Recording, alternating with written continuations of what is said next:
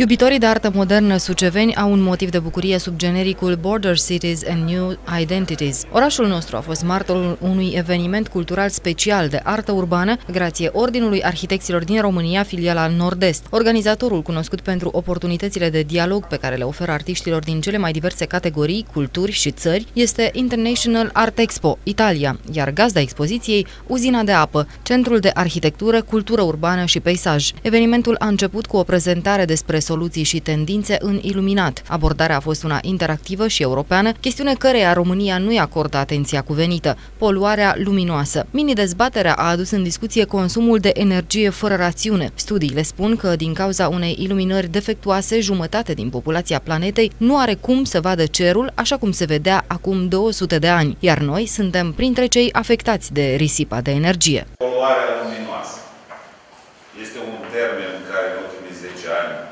a stat în atenția Comisiei Internaționale de Iluminat. Ca atare s-au elaborat norme pe care alții le aplică.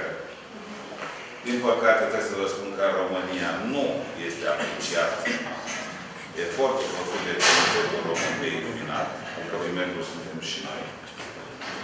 Dar este un loc în care va trebui să ajungem și de aceste lucruri va, va trebui să ținem cont. Cu participarea internațională, expoziția cuprinde lucrări de fotografie, artă video, pictură, grafică pe computer și performing art. Toate au fost adunate în urma unei selecții pe baza unui concept hibrid între identități și mediul urban. Oameni, fundaluri, societăți, progres și tot ceea ce ele implică duce la crearea acestor identități hibrid care se modifică una pe alta, având ca scop final o lume mai bună, explică organizatorul. Transport modern, comunicații și infrastructură, dezvoltarea economică durabilă, folosirea cu înțelepciune a resurselor naturale, plus capitalul uman, intelectual și social, constituie cheia unui viitor mai bun, transpus de această dată altfel decât în cuvinte. Un loc foarte potrivit pentru astfel de evenimente, Centrul de Arhitectură, Cultură Urbană și Peisaj, uzina de apă, este el însuși rezultatul unei conversii peste timp. O veche uzină de apă abandonată a fost transformată într-un centru cultural printr-un parteneriat public-privat. Un loc numai bun pentru orice tip de proiecte curatorii, conferințe, concerte, expoziții sau evenimente cu totul inedite, precum actul artistului din Germania, Wu Guru, care a încheiat vernisajul.